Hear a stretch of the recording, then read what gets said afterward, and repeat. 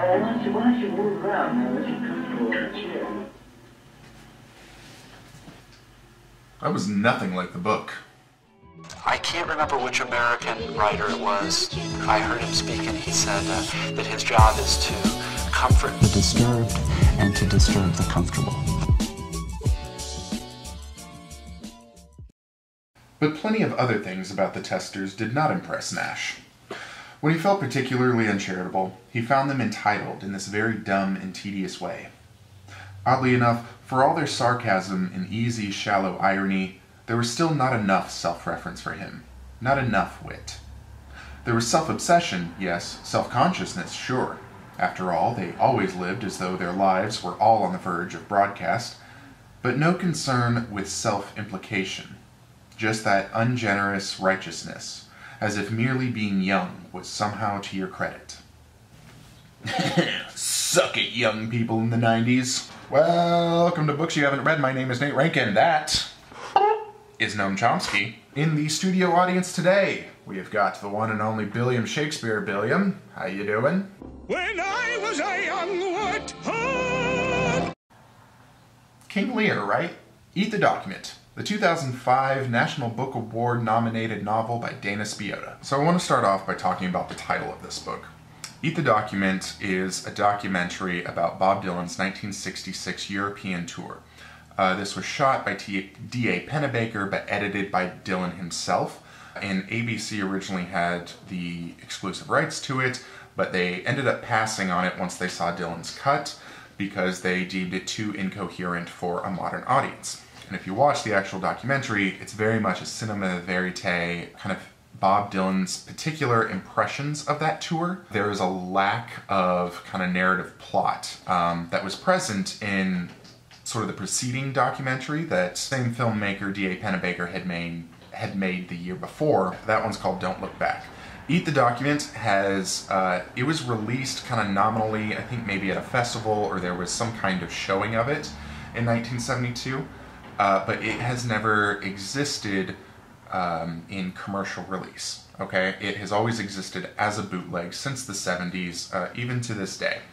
Now that's important because uh, bootleg culture and sort of the cultural as well as historical detritus of the early 70s uh, comes to play a big part of the setting for when the primary actions of the novel take place, which is in the late 90s. So the actual plot of this book.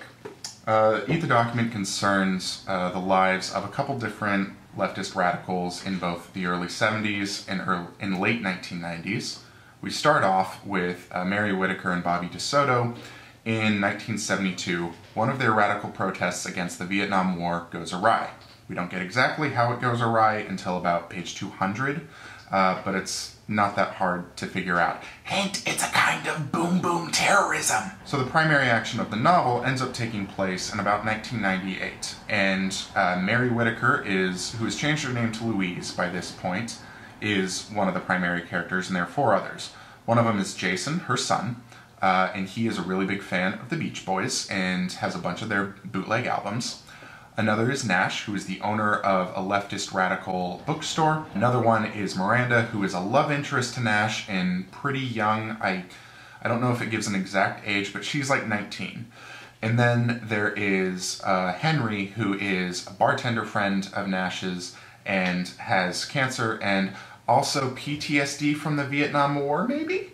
The reason that I read this book, uh, I'm a big fan of Dana Spiotta. One of my um, goals of this year is to finish the uh, sort of novels of a bunch of different novelists that I really like, uh, including Dana Spiotta. She actually has a book called Wayward coming out this summer, so I'll also be reading that. This is by far her best known novel. Books that get nominated for the National Book Award typically are always in some way trying to make a statement or trying to be about some kind of Americanness. Uh, it can be really broad.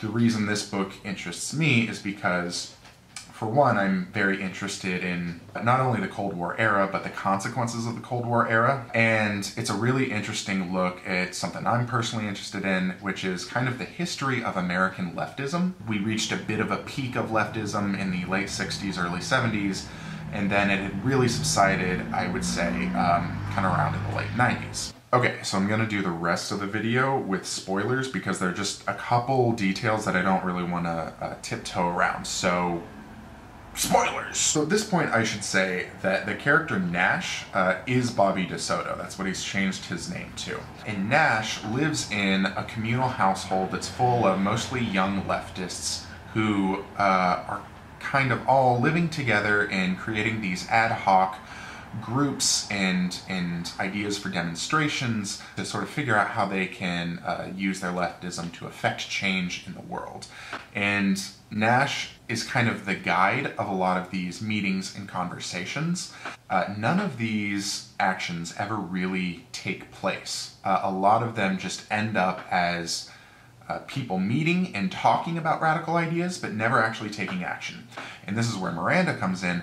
Miranda, um, you know, being young and idealistic, she really objects to this and wants to find ways to take meaningful action. Nash's role in this uh, is to almost seek a, a, a leftism uh, within the self, within the heart. I think this is really well summed up from page 65. Miranda is talking to Nash, kind of criticizing him over these things, and this is how Nash responds. The point isn't to win. They'll never win, of course. They just make persuasive and powerful the beauty of their opposition. So, for Nash and for maybe leftism in general in the 90s, opposition is theatrical, it's symbolic, um, but it's not actually, it has no place in the real world. As for the character Mary, we get her entire arc from 72 to 98. Throughout these years, she has to construct various different identities. She constantly has to leave new friends and new groups of friends that she makes uh, in kind of the dead of night. She meets a guy in 1982, has a kid with them. He dies shortly thereafter and isn't a big part of the novel.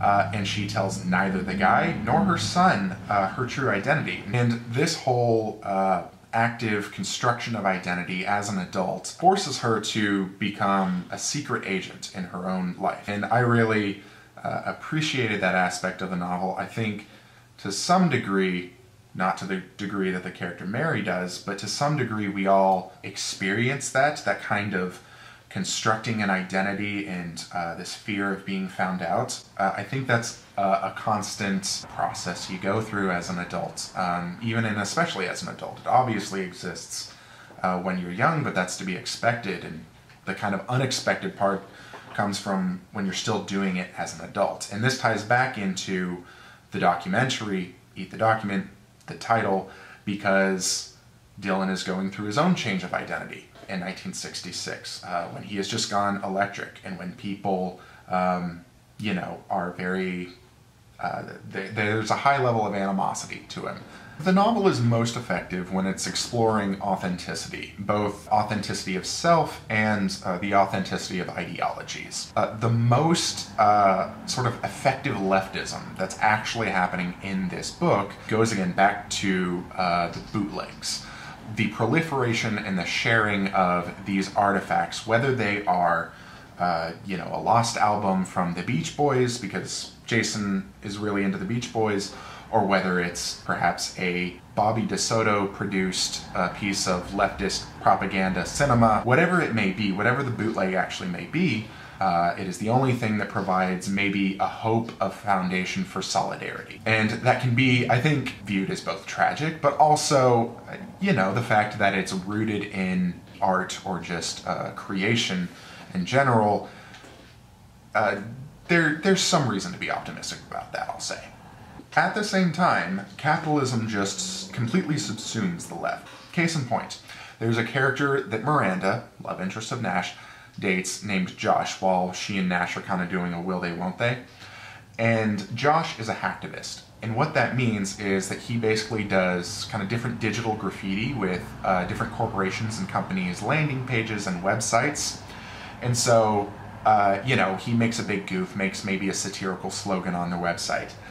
That ends up in Josh getting a job with one of these companies, uh, and this company is literally trying to build a commune a, a corporately funded commune. So capitalism is totalizing in this world, in this universe of the book, and in ours, of course. You know, it again makes it so that the only sort of authentic and tangible way that you can resist capitalism is by you know paying money for a stolen good so that at least it's not you know going to the record companies or whatever it's going to your bootleg dealer that also sells you mushrooms or something so ultimately i really like the concept of the book the execution is broadly successful, though I'm not without some conniptions. Number one, Henry the bartender.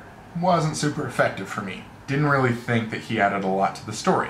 Number two, Miranda's role, her most important role, seemed to be the men that she was dating. I just thought, like, cut out Henry's parts and then give that space to Miranda, and you can build her out and she can be a little more of her own character. But really, I think she served as a vessel to kind of compare and contrast, compare and contrast Josh and Nash. In a 290 page novel and you've got five characters, you're actually pretty thin on space, and so you've got to use it really effectively. Number three, and I think this is the biggest failure of the novel, and I use failure maybe a little too strongly.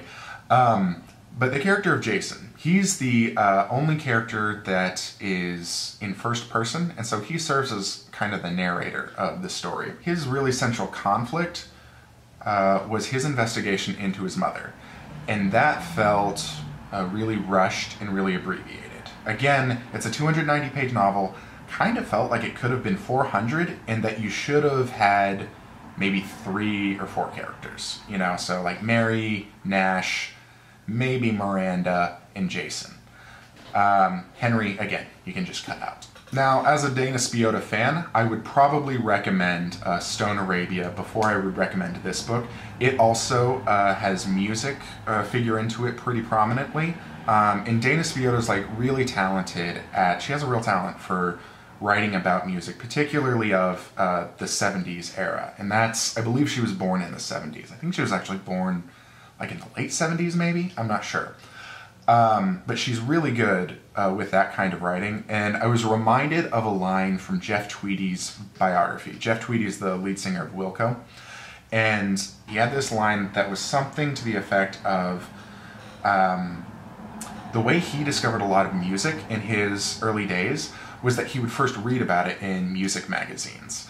Um, and that he thought nowadays that kind of talent to write about and describe what music felt like or what the experience of music was uh, was a real talent that had gone away.